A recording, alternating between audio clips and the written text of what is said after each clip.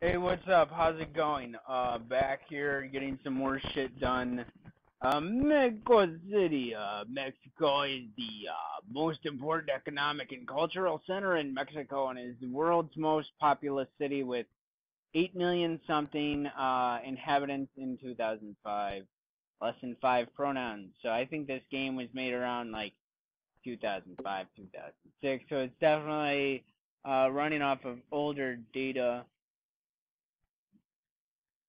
So that's spiffy and all that good stuff. So anyway, uh, masculine versus feminine. It is time to talk about the differences between masculine and feminine words in Spanish. Nouns, persona, places or things, yeah, persons, places, things are grouped into two classes or genders, masculine and feminine. You know what gender a word is by uh, muchacho is a masculine noun because it ends in an. Is that a U or an O? Muchacha is feminine noun ending in A. El muchacho, la muchacha. Uh, most pronouns that end in O are masculine and most nouns that end in A are feminine. The other thing to keep in mind is what the word, uh, it is something that is typically masculine, object, idea, or activity that is probably masculine. Feminine words work the same way. Barber, barbero. I probably didn't run with that correctly. Salon, Peliquaria, I think. Uh, you'll see a lot of abbreviations throughout this game. Here are some of them mass, masculine, fem, feminine, uh, TL, plural. Uh, damn, I can't read that.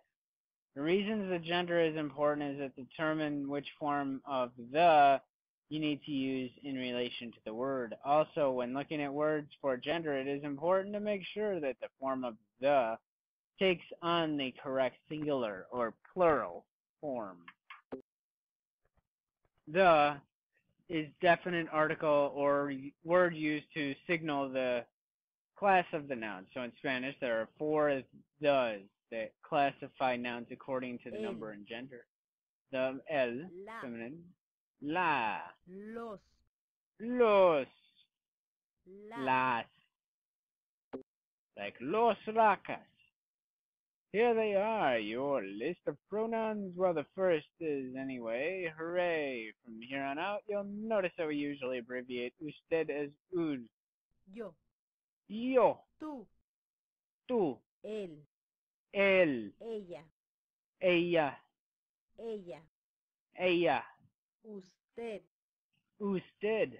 Usted. Usted. So all this time I've been saying, yo, what's up? I would say an I. What's up? Here are the rest of the pronouns with the hello and goodbye for Nosotros. good measure. Nosotros. Ellas. Ellas. Ellos. Ellos. Ellos. Ellos. Hola. Hola. Adiós. Adios. I think it's time to see what you've learned. I'll check in with you once you're done. Uh, and so far I'm doing something. Oh, fucking great. Uh, hola. Hola. Usted. Usted. Nosotros. Yo. Yo. They, uh, ellos. Ella. Ellas. Ellas. Adios. Adiós. Tú. Sweet. That's cool. Ah, that's coming along. That's great. Yeah, I could probably definitely use doing the live commentary for this stuff so to go along a lot quicker and all that good stuff. So, uh, what else? Um, I think it's time to see what you've learned. Oh, welcome back. Just remember two things. One, gender is important. Two, singular or plural is important. Three, learn your pronouns. I really sucked at trying to learn my pronouns. Oh, I do this again. Adios. Adiós. Yo. Yo. Uh, ellos. Tú. Tú. Nosotros. Hola. Hola. Él. Él. Usted. Usted. Ella. Ellas. yes. Okay. I can't even, I, I'm having trouble reading it from this distance. I'm like four feet away from the screen, so that really doesn't help. And I haven't zoomed up on it either yet either, so that's not good either. And stuff. Okay, let's go along. The important thing here is that once you know that what verb conjugation goes with which pronoun, you'll generally leave the pronoun out of the sentence. When you use a conjugation, you're getting two words for the price of one. Neat, ha! Let's go. Remember when you started your profile, you said, Yo soy americano. American, yo soy americano. Yo soy un hombre. Yo soy un hombre. These simple sentences are fantastic for example of how important the pronouns can be. They also demonstrate the simplest sentence structure. You're Mexican. Tú eres mexicano.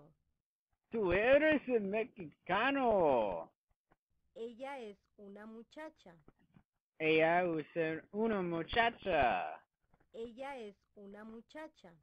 Ella es una muchacha. I think I gotta practice that one a few times. muchacha. There we go. Uh, see, you already know some Spanish phrases. Lucky you. You'll be seeing those phrases and many more a little later. For now, just give them a test run with your friends and relatives. I don't have any of those, so uh, we need to make every pronoun forever ingrained in something.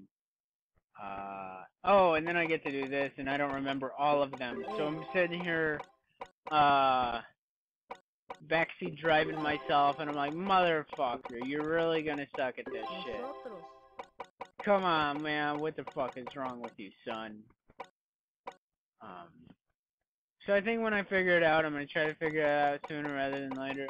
Doing live commentary, and, uh, do this. Uh, 'cause I could really probably use, uh, live commentary when I'm doing this as far as, you know, all that good stuff goes. So, we'll see how that all goes. Ayos! Ayos! Um, what else? Anything else? Um, well. Hola. Um, let me see. Am I missing any? I'm definitely missing quite a bit. Um,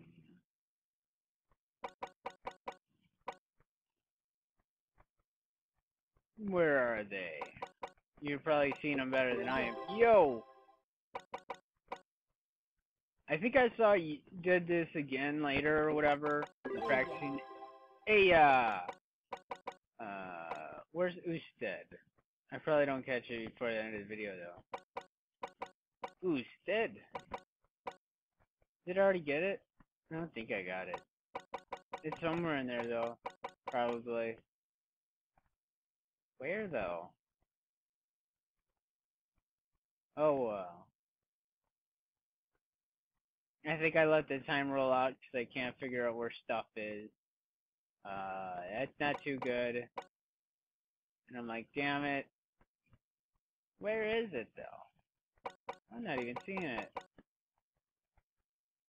Is this dead in here? I don't think so.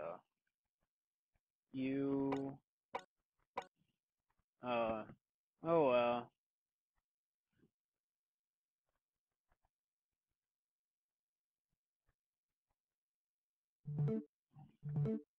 I didn't even see audios. Oh well. Whatever. I'll come back. I'm gonna do a review of this later. I think that's what I've been. I'm thinking like I'm gonna do everything twice, but it, the second time is always gonna be a review or something. So uh, I, I always want to like brush up on stuff too if you're not remembering it well. That's all for now. Join me next time, lesson six, where we'll learn about the verb ser. Mastering your word, something, something, and I'll see you next time whenever that shall be.